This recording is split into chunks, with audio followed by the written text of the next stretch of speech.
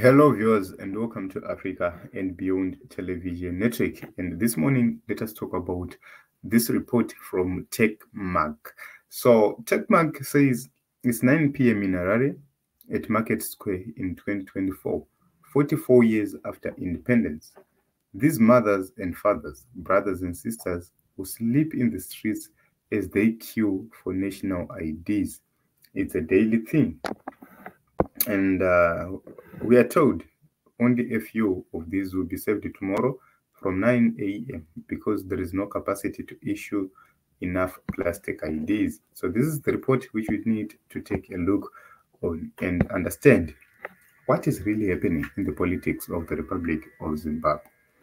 So let us take a look onto the pictures posted here. So it's very important for us to note that an ID is one of the most important documents any citizens would need or want at any given time.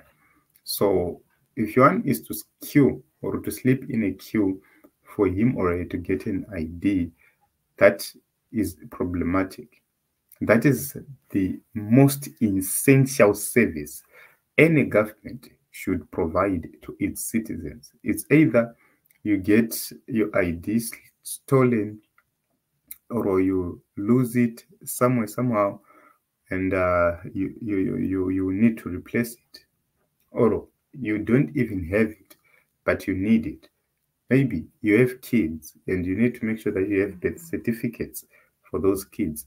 All those issues you see that um, it becomes a problem when the government fails to do its part or to perform its functions so what is at stake right now is that you need to get a job and an ID is needed, an original ID is needed.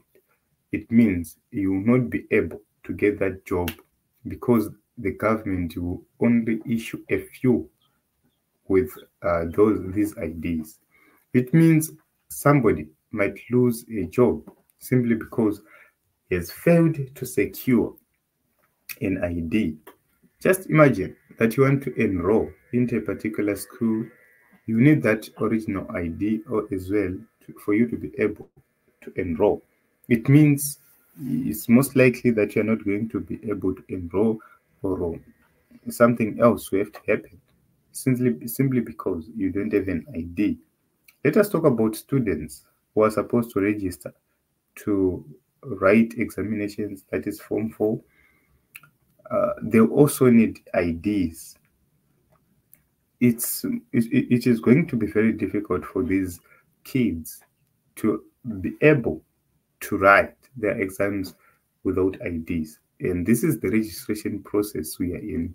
Um, I do not know when it is going to start or commence, but very soon we are likely going to see these students needing to commence their studies uh, to, to, to uh, their registration. What it means is they will be inconvenienced because of the lack of IDs.